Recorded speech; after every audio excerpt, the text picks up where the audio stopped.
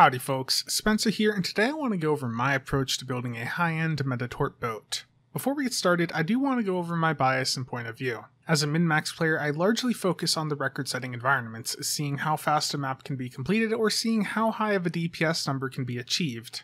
However, that bias should not impact this guide. The information presented here should carry over to a variety of performance levels as the core fundamentals of Torps remain the same whether you're at a casual level or you're trying to set a record. There's just basic things with Torp boats that every build is going to want to follow. Now, if anything in this guide confuses you, either leave a comment below and ask on this video and I will respond when I can, or even better, join the STO Builds Discord for build help with Torps or any other build type. We have lots of min-max players on there that don't usually participate in the YouTube communities, so you can get connected with people that are really experienced with a variety of playstyles and get really high quality help on that Discord. Link to that is on the screen or down in the description below, so check it out if you haven't already. In this video, I will be covering the topics shown on the screen now. Timestamps are down below if you want to skip ahead to certain topics, and alternatively, if you don't want to listen to me talk, there is a PowerPoint version of this presentation linked down below. It's on Google Drive, so go check that out if that is an easier way for you to digest this information. Our first topic is why would you want to use torpedoes? So torpedoes are really good in situations where you have targets that have a lot of hit points, or you have grouped up targets that are grouped up via abilities like Gravity Well or the Graviton Displacer console. This means that torpedoes really excel in higher difficulty content like Elite, and if you're doing Elite queues, they are going to just hit so much harder than beams or cannons at that difficulty level. However, this is where the negatives also come into account, so let me scroll over to that slide here. And really this this is the first issue that I see as a barrier to a lot of people, and that is that torps are not the best DPS option for normal or advanced level content energy weapons are likely a better investment for you if all you're doing is normal or advanced because torps have a travel time issue. So if you have a lot of teammates shooting on a target it's possible that that target will be dead before your torps are able to fly and hit the target. And then there's the big issue which is concentrate firepower. So i'm going to go to the next slide here. And concentrate firepower is a command specialization bridge officer ability but it is a core ability for torp boats. It, it's used as a mark on target ability that you mark it on a target, and as you damage that target, once every two seconds, you will get a high yield one granted to you, and it will reset all of your torpedo cooldowns. Now, Concentrate Firepower has three different issues the one that is most applicable to lower difficulty content, normal or advanced, is that it is a mark on target ability that you want the target to stay alive throughout the entire duration you have the, the ability marked on the target. And in normal or advanced content, that isn't likely to happen because of how fast things die. So that is issue number one. Issue number two is that Concentrate Firepower has three different ranks, like most abilities, and only rank 3 is worth using. So you can see on the screen what Concentrate Firepower 3 does, how it gives you one high yield every 2 seconds. Well, rank 1 gives you a 1 torp every 6 seconds, and rank 2 once every 4 seconds. If you have a teammate that marks your target with a lower rank of Concentrate Firepower, it will overwrite your rank 3 of it, meaning that instead of getting a torp every 2 seconds, you're getting a torp every 4 or 6 seconds. So your teammates can effectively troll you if they want. And the third issue is that it is a mark on target ability that your entire team can benefit from, and only one high yield proc is given out every two seconds. That means if you have pets, spawn in abilities, or teammates using torps and they damage the target that is marked, they can steal those high yield procs from you. And if a pet steals a high yield proc from you, including your own pet, that pet is not going to do anywhere near the damage that you would if you were firing a torp out of your ship. Keep in mind, Hangar pets don't have the same crit chance as you, they don't have the same boost. The torp that they fire is going to be a fraction of what a torp coming out of your ship would do damage wise. So, those are the three big issues with concentrate firepower. And I have done tests to see what happens if you don't have concentrate firepower equipped. And as you can see on the screen, this is from some testing I did over on the Tribble Test server, and without Concentrate Firepower, my damage was basically a third of what it was with Concentrate Firepower. So concentrate firepower is like the core ability of these torp boats. And not having it or having things that interfere with it will massively lower the damage potential of your torp boat. This leads us into our next topic. What does a ship need to be good for torpedoes? At a minimum, I would say to look for ships that have four forward weapon slots and at least two aft weapon slots. You want a ship that also has at least a lieutenant commander command specialization seat, but if you can find one that has a commander command seat, that's even better. And lastly, you ideally want a lieutenant commander tac seat, and hopefully that also isn't the seat that the command specialization is on. Moving forward, our next topic is what to prioritize slotting on your bridge officers, and we're going to start off with engineering. Engineering is the least valuable seating on a ship right now. So the only engineering ability you would actually want on a torp boat is emergency power to engines 1, and that is used for the speed boost and to trigger the emergency conn hologram duty officer, which will reset your evasive maneuvers cooldown when you hit emergency power to engines if your ship does have more than an ensign engineer, then the most ideal scenario would be that that seat is also a specialization seat, ideally with command, temporal, or intel seating on it. However, if it is just a standard engineer, then the abilities you would want to look at slotting next would be emit unstable warp bubble in a lieutenant engineer slot,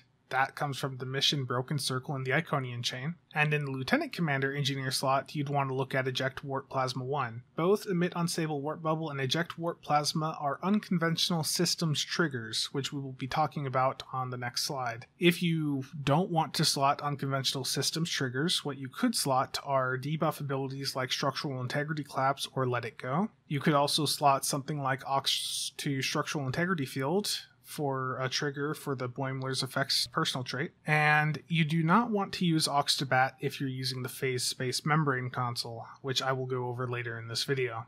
Aux drains your aux power, and if you're using the Phase Space Membrane, that is a big no no. Now, taking a look at Science Bridge Officer abilities, you're going to want to slot as many science abilities as possible that are unconventional systems triggers. So I've got a list of them on the screen now. Tractor Beam 1 is the most important because it's also going to be used to trigger the Starship trait Rapid Emitting Armaments, which I'll go over later also, and that comes from the legendary D'deridex. After tractor beam, you're going to want us to look at AJAM sensors, scramble sensors, and then either a photonic shockwave or gravity well in a lieutenant commander sci seat if you have a lieutenant commander sci seat. All of these abilities are just used as triggers for unconventional systems, and unconventional systems, if you don't know what it is, basically every time you hit a control ability, you are reducing the cooldown of your universal consoles that have clickies on them. So things like the dynamic power redistribution module, the DPRM, the Steamrunner console, and a lot of other consoles that have really nice clickies. It's a very important part of the meta. And going over to tactical bridge officer abilities, the first thing you're going to want to slot is high yield, the highest rank possible. And then you're going to want to slot Cannon Scatter Volley 1 and Fire at Will 1. Both FAW and Scatter Volley are used to trigger the Entwined Tactical Matrices trait. This trait comes from the Gagarin or it's like the Cruise or something for the KDF. And basically, when you hit your fire at will or scatter volley, it gives you a torp spread one. So you're not actually running a torp spread on these torp builds, you're getting the torp spreads from this entwined tactical matrices trait, often called ETM.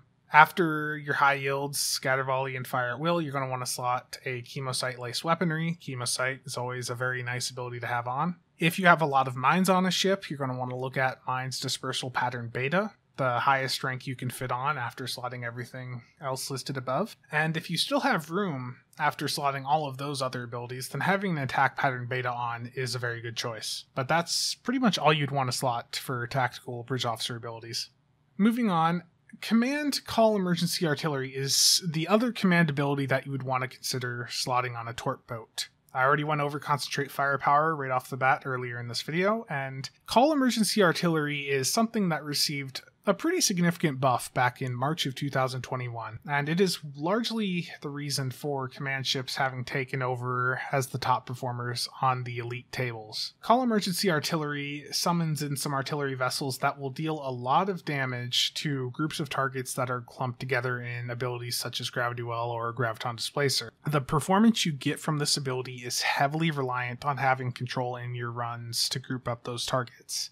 Not everyone in the torpedo community agrees with the value of this ability. I see pretty good performance from it in most cases, but do keep in mind that when I'm playing, I am typically playing in a very high end coordinated environment where there is always control. But I still have good performance from this, even in solo runs or pug runs, so I think it's worth it, but just do keep in mind that there are those in the Torp community that do not feel the same way as I.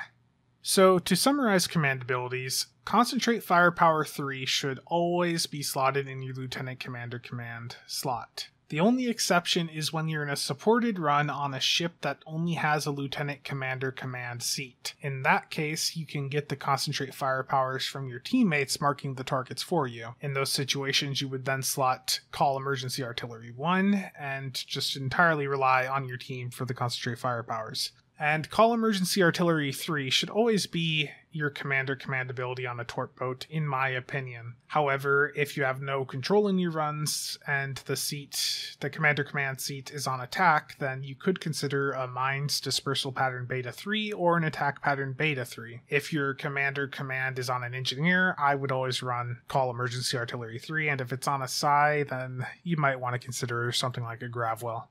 Now, moving past command, let's take a look at some of the other specializations, starting with Intel. Intel has a few abilities that are fairly useful for torp boats. Specifically, Viral Impulse Burst and EMP Probe are both really good unconventional systems triggers to slot on a ship. Another option you have with Intel is the Intel team ability if you want to do solo elite runs. I went over this in a video earlier this year when I started doing solo elite runs again. And the basic interaction is two copies of Intel team with the Fresh from R&R personal trait and then the Exodus Active Probat starship trait. And that just gives you a massive amount of stealth, which massively increases your survivability in a solo environment. It's not a needed combo for solo runs, but it is really helpful. The last thing for Intel to talk about is an ability called Kinetic Magnet. Essentially, you mark it on a target, and all nearby mines and every projectile is supposed to be drawn towards it. The issue is, however, is that the ability in practice is complete garbage because the ability will stop working after you do somewhere between 20 to 40,000 damage to the target. And with the current state of mines and torps, you're typically going to have each mine or torp hitting for like 10 times that. So this ability essentially stops working after a single mine or torp hits the target, meaning that it is completely worthless. And moving on, we're going to take a look at temporal abilities, and there's there's a handful of useful temporal abilities actually. So from a DPS standpoint, recursive shearing, if you have access to lieutenant commander or command temporal seating on your ship, will do quite a bit of damage. Recursive shearing is basically you mark it on a target, and whatever damage you and your team do to that target over five seconds, you're getting a portion of that as bonus damage at the end of that five seconds. So if I mark a target and I do a million damage to it in the in the five seconds, when it expires and I'm using recursive shearing three, I'm getting 300k damage additional dealt to that target. This ability is really potent if timed correctly. The other temporal abilities to look at are Heisenberg Amplifier, Chronometric Inversion Field, and Timeline Collapse. All three of those abilities are insanely good unconventional systems triggers. Now, let's take a look at Miracle Worker. Miracle Worker is a really popular specialization, but it doesn't really offer much for torpedoes. The only ability that would really boost torpedoes is Mixed Armament Synergy, and that just gives you a damage boost for using different weapon types. So as soon as you add a mine fire, you would get a boost for your torps. It's okay, but I, you know, I don't think I'm going to be running a ship with Miracle Worker for mixed armament synergy. I think that there's better options between Intel or Temporal right now. For a secondary specialization on a ship that has command. Uh, Miracle Worker also has a torpedo ability called Torpedoes Nanite Repair Payload, but that doesn't do DPS. It's a heal, so it is not worth it. The last Miracle Worker ability that might be of use is Deploy Gravitic Induction Platform. I don't know how useful it would be though, because I have no ships with a Lieutenant Commander Miracle Worker to try it out on that also have a Lieutenant Commander or, or Commander command seat. And the last specialization to talk about is Pilot. And that's that's it for Pilot. Let's let's move on. Okay, so now that all the ability talk is out of the way, let's talk about cooldown reduction methods because that is always important. So I already mentioned that Aux2Bat is a no-go for a high-end torp boat due to the phase space membrane console because the phase space membrane console requires you have really high aux power and you don't want to use abilities that are draining your aux power when you're using that console. Photonic Officer is a fine ability to use. It works perfectly fine. But the Boimler effect, which is a newer personal space trait that came out a few months back, it's in the Lobi store or on the exchange, is the current best choice for cooldown reduction. Basically, with Boimlers, every time you hit a bridge officer ability, you have a 17.5% chance to reset the cooldown on all of your bridge officer abilities to their global cooldown, basically. So it is really, really good. It's quite common to see people also running the Liberated Borg deflector officers alongside Boimlers. Um, I'll cover those here in the next slide when I talk about duty officers. And in a record setting environment, we typically have the DPS player just using the Boimler effect trait, and then two to three of the team players are using the Unified Engineering trait from the Buran. And what the unified engineering trait does is it gives you a few different buffs, but the big one is cooldown reduction for bridge officer abilities. So if you have three people running unified engineering and keeping those stacks up throughout a run, that is 30% bridge officer cooldown reduction just from your teammates running this trait. So it's pretty good. It's it's like having a photonic officer active without having photonic officer slotted essentially. Okay, so now let's talk about duty officers. I've got a list of what you'll want to have slotted, like a tier list over at the right. For space, the big ones are emergency conn hologram, which I've already went over. When you hit emergency powered engines, it resets your evasive maneuvers cooldown. You can get that from a rare Phoenix token. After that, you'd want to look into some projectile crit chance and crit severity doffs. A rare is fine; those are usually pretty cheap. The very rares are also a bit cheaper because not many people are going after those compared to the energy weapon variants. If you have a few mines on your build, you might want to consider one of the projectile weapon officers for mine recharge. I've been using uh, purple one for a while now. And if you don't have a ton of mines, you might want to consider the ultra rare one I have listed over there that has a chance to increase kinetic damage from firing torpedoes. That is actually a Cat 2 buff from that of 15% once you have all three stacks. So that's like a third of an attack pattern alpha worth of damage there, so it's pretty decent. Uh, for Borg Doffs, 23 of 47 and 27 of 47 are both really good for the crit bonuses they provide, and I will cover the Borg Doffs in more detail on this next slide. But before I go to the next slide, I do want to mention the two grounds Doffs I have slotted. So Neil Falconer, I think you can get them from the Phoenix store now, but that was an event Doff at one point, and the elder guy there, he is from a the Jem'Hadar recruitment event. So whenever they rerun that, you should be able to go and grab that if you don't already have that. Both of those Doffs slot onto the ground and they will give you a boost in space or on the ground. So those are both nice to have. Now let's take a look at the Borg Doffs in more detail. First thing with the Borg Doffs, you can run more than one of each of the Borg Doffs, but the actual procs do not stack. When you run more than one of the same Borg Doffs, you're just increasing the chance for the proc rate to happen essentially. 23 of 47 is a Doff that I don't think many are really aware of. It's really good for torp boats. When you're hitting your tack abilities, that you have a chance to increase your max HP for your entire team. So that is really useful because everyone's running Tyler's Duality, which is a rep trait that gives you crit chance that scales with your hull points. So that's pretty good. And with 23, when you hit command abilities, you have a 30% chance to get 2.5% crit chance for 30 seconds. So 23 is a really good DOF, and it's pretty cheap right now, so go grab one if you want to have one for your torp boat. And 27 to 47, everyone is familiar with that DOF. You're running that essentially to get the crit severity bonus from or the, the chance for crit severity when you hit tack abilities On most of the torp boats, you don't have intel abilities, so you don't have a way to proc the crit chance from it, but the that's where the 23 steps in and you can get that same crit chance boost from the 23 when you hit command abilities. Now, the deflector officers, there's three variants that are relevant to command. 38 is the big one because that triggers off of tactical abilities and command. When you hit TAC abilities, you have a chance to reduce the cooldown of Command Bridge Officer abilities, and when you hit Command Bridge Officer abilities, you have a chance to reduce the cooldown of TAC Bridge Officer abilities. So that's pretty nice. And then 33 of 47 is the engineering variant of that, and 43 of 47 is the science variant. So all have their use cases. 38 is the most popular. If you're not in a supported environment and you want to run Boimlers alongside some Borgdoffs, I think the most popular combo is Boimlers plus 1 to 2 38 to 47s. That's what I was running for quite a while. And what I am currently using on most of my builds is this exact combo here. As I went over, you know, I've got the emergency conn hologram, the projectile crit chance and severity doffs, the mind doff, and then I've got the two Borg security officers for the crit bonuses they provide. And then, of course, I've got those two ground doffs slotted. So that is what I have been running for a long time and is what I've had the most success with.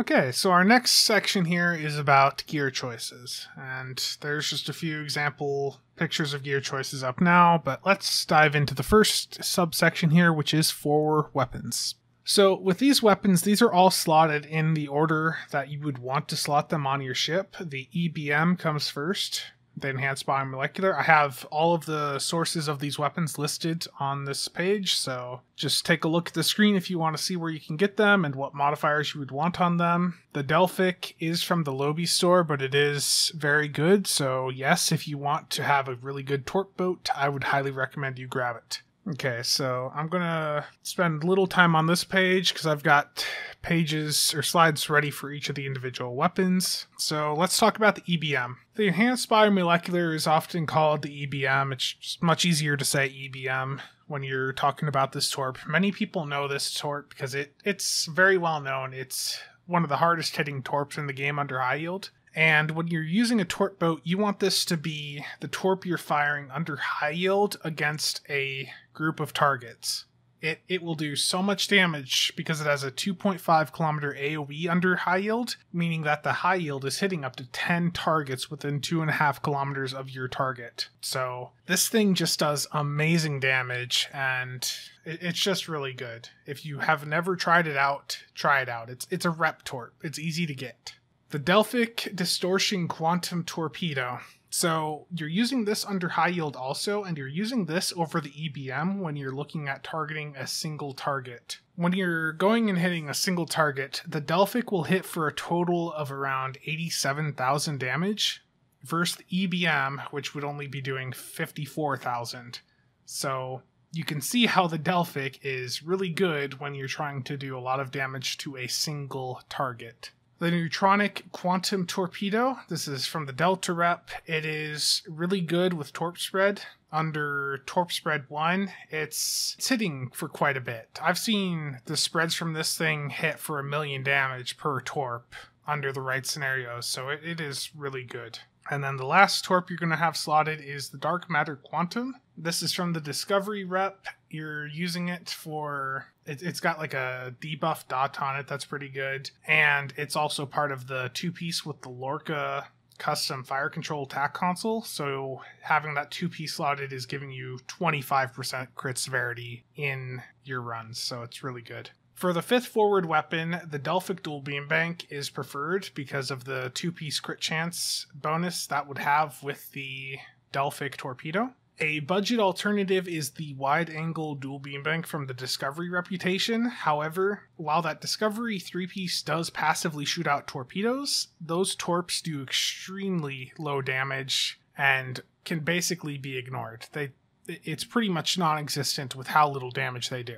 So the three piece is okay if you have nothing better to slot, but it's like I said, it, it's not the best thing ever. Uh, deflector engine core shield. You'll often see people referring to this as the DECS. You're going to want a Fleet Colony Deflector for the crit bonuses that provides. Your engines are going to be from the competitive reputation because of the speed boost you get when you hit firing mode bridge officer abilities. Your core and shield are both going to be from the discovery reputation, and the shield, especially, it, has got a proc on it that scales with your shield power, which will increase the amount of damage you do to a target's shield. So that's pretty handy. And then the two piece helps with survivability, giving you 120% hull regen. So that's pretty nice. Your aft weapons, mines are, you know, pretty good right now, as I've mentioned.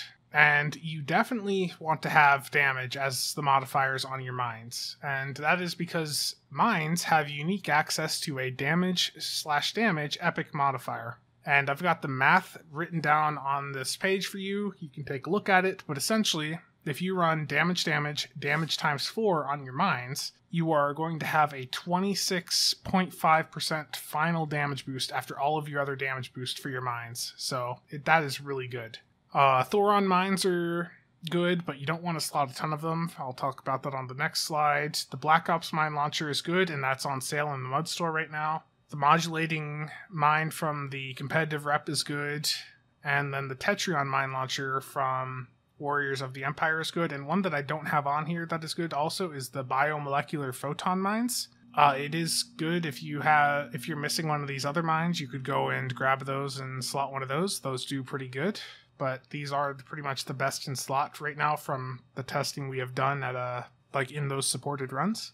So with regards to mines, I have a few notes here each type of mine has a cap on how many can be out at a time. So quantum mines can only have X amount out, photons, plasma. Each different mine type has a cap, and if you have four quantum mines on, you're going to hit that quantum mine cap very quickly. But if you have quantum and photons out, you could have up to twice the amount of mines out. So you don't want to be in a situation where you're using like three to four Thoron mine launchers because you're going to hit that cap really fast and they're to the mines are just going to self-destruct and that is why you see the builds here using two quantum mines and then two photon based mines that like i said it allows you to just have more mines out at any given time and one thing that I should have noted on the negatives page is that if you have too many mines out, along with too many hangar pets on a map, you can hit the entity cap of maps and cause enemies to despawn. So do keep that in mind if you're using a lot of mines and also have pets. You can very easily despawn a map if you start launching mines during prep phase.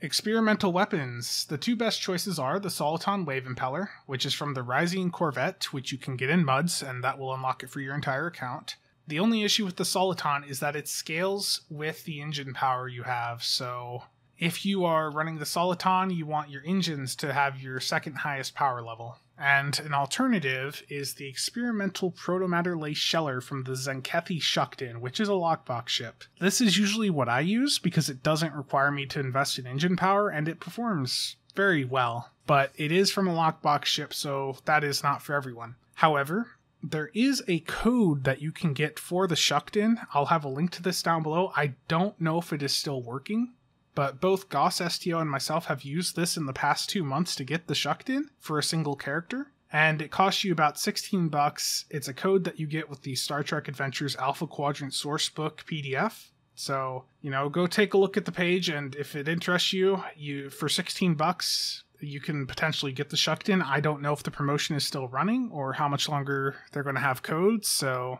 definitely check that out if that interests you. But keep in mind that that promotion may have expired by now because I last time I used it was like a month and a half ago. Uh, let's talk about devices. So, Deuterium Surplus is basically an evasive maneuvers in a can that is very good to have on. The kinetic amplifiers that you get from projectiles crafting are good to have on. The large aux bats are good if you want to keep the phase space membrane up yourself. The temporal negotiator device from the Delta recruitment event is good as a backup cooldown reduction method if Boimler's fails to trigger, but it has a five minute cooldown, so you're only going to be able to use it as no crap button once in a run, essentially. The Kobayashi Maru transponder, you call that in and get buffs from it. Blade of Gevnite hardpoints are a device that not many use. They don't have to be slotted, but when you activate one, it gives you plus 100 hull skill for 15 minutes, and that will give you a fair bit of additional hit points to help buff Tyler's duality. And then the last one I have listed here are the Hur'q Swarmers. Those are a call in device that do not have torps on them, so they're quite popular for some of the DPSers right now. Okay, let's get into attack consoles and the other consoles here. So, consoles, obviously, the Lorca console is really good, and then the rest of your attack consoles are going to be vulnerability locators with the torpedo modifier. Unfortunately, you can't go just like plus quantum because the while three of the torps are quantum, the EBM is a photon, so you need to go with just the torpedo consoles. That means you're not buffing your mines as much, but that's fine. I'd rather buff the torps up more.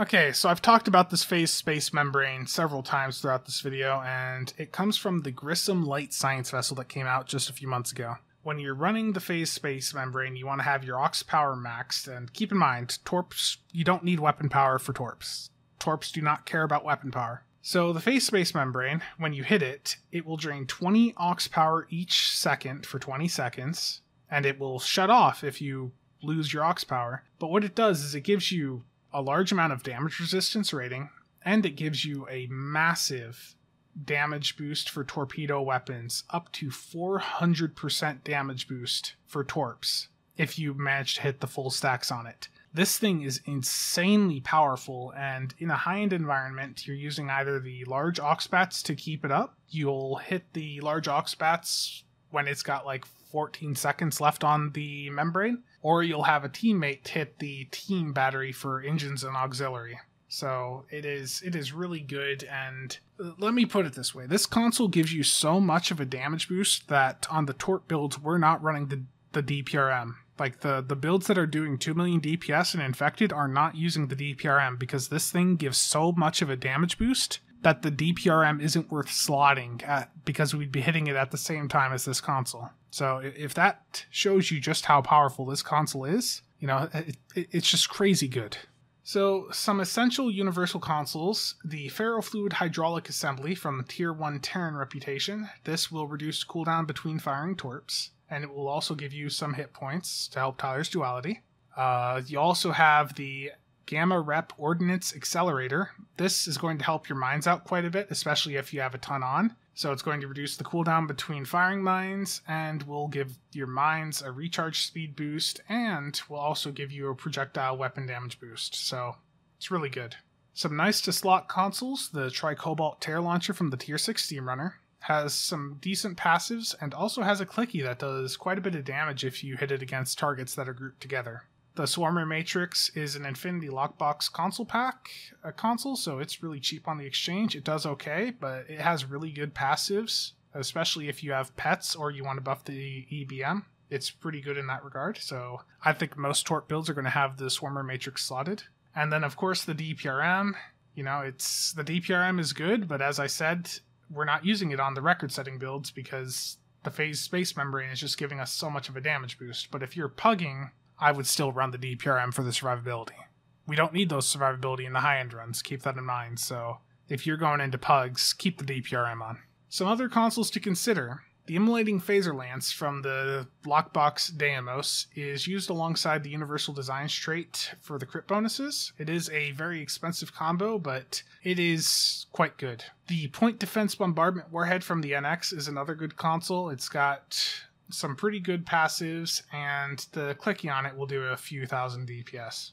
And if you are looking for any other consoles to slot, then just run any crit consoles you have. Things like the Bioneural Infusion Circuits, Ultimate, Assimilated, Module.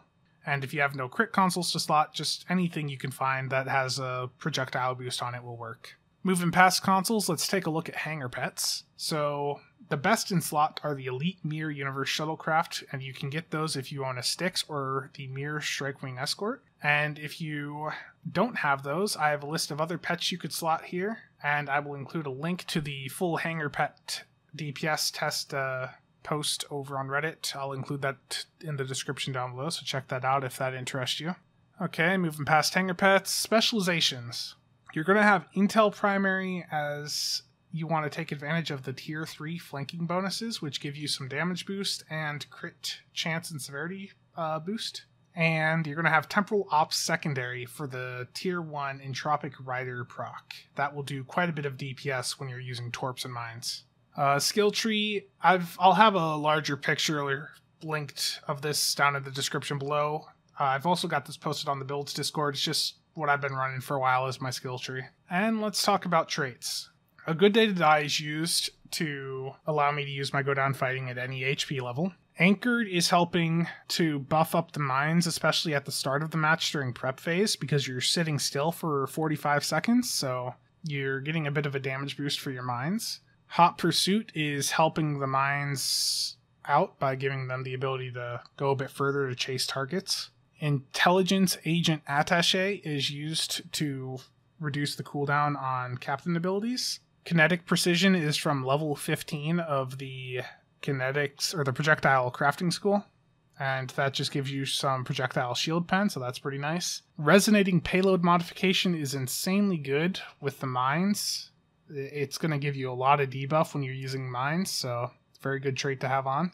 Self modulating fire is pretty handy for the shield pen, especially when you're going to that starting group. It, it helps get a larger burst on them. Terran targeting systems is used for the crit severity boost.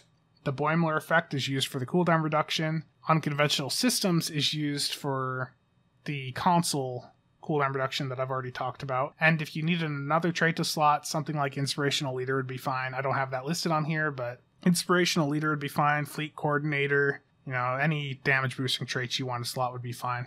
Starship trait wise, the primary four that I would probably be prioritizing are the ETM trait, which I talked about before. That's the one that gives you torp spreads when you hit your fire will or scatter volley. Subspatial warheads does a massive amount of damage. Basically, each high yield you fire out will create this subspatial tear that does AoE damage to anything around your target. It, it will do a lot of damage. If you remember that tribble test that I showed at the start where I did like 6 million DPS, a third of that DPS was from subspatial warheads, so that trade is insanely good. But that, that performance level won't happen on holodeck. That was against static, infinite HP targets. To just keep that in mind. But still, subspatial warheads does a lot of damage. And that is from the Lobi store on the Son'a Intel Battlecruiser. The other traits that are really good to have are ceaseless momentum. Some people would consider that essential, but I have seen people run without it. And the big thing with that is it gives you a bonus kinetic damage boost for all of your projectiles when you're firing torps.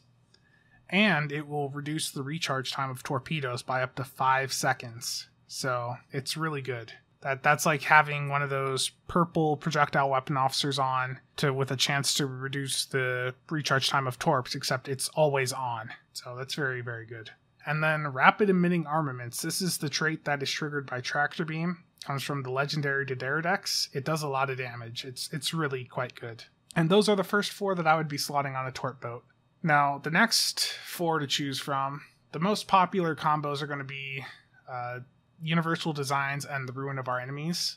Those are both really expensive traits to get, though. Universal Designs is triggered by that immolating phaser lance console that I had shown off earlier and basically you're just using that console every 15 to 20 seconds and you're just building up stacks of universal designs. Universal designs will give you up to 10% crit chance and 50% crit severity and that comes from the lockbox 32nd century crossfield spearhead refit. So that that's why that ship is like 1.4 billion on the exchange. It's it's such a good trait.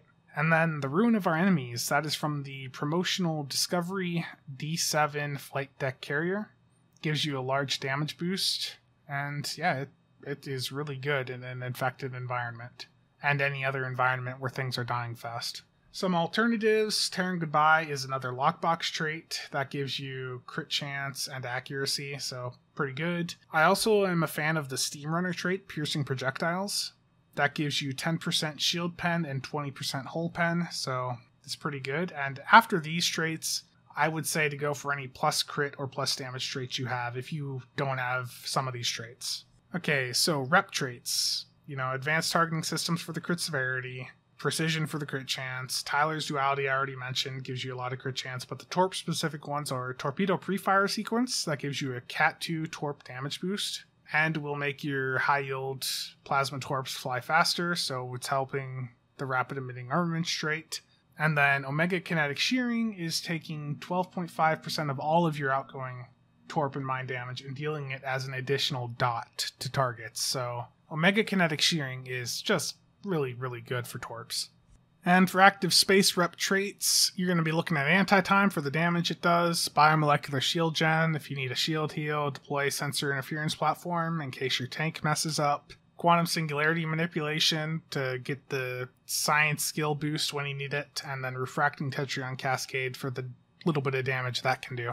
Okay, so we're past the traits, and now I want to talk about some important notes with torpedoes. So, auto versus manual fire. I've made a video already going over manual fire, and you can auto fire torps. A lot of people do that. It's a much simpler process. And the only thing I would say is that it just depends on how far you want to go performance wise. If you just want to fly a torp boat casually, then auto fire is perfectly fine. People have done over a million DPS with auto fire on torps.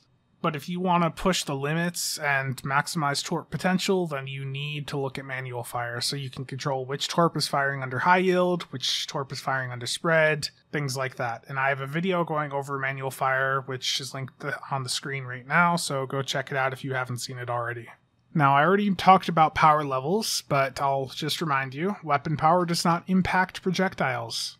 In most cases, you're going to be running max aux power for the phase space membrane and then you're going to dump the rest into shields to buff the discovery reputation shield so you do more damage to target shields. However, if you run the Soliton experimental weapon, then you're probably going to want to dump the rest into engines rather than shields. So that's just some notes there. And here are some good torp ships. So I'm not going to list all these off, but I will say that the three ships that have had runs over 2 million DPS are the Courage, the United Earth Defense Vessel, and the Delkina. Um, most of these ships, if, if this if a ship is on this page, I would say that it is capable of doing like one six one one point six million DPS at least. I'll say like all of these ships here, I think are capable of doing a good bit of damage if you build them right and you fly them right and you have a good team behind you.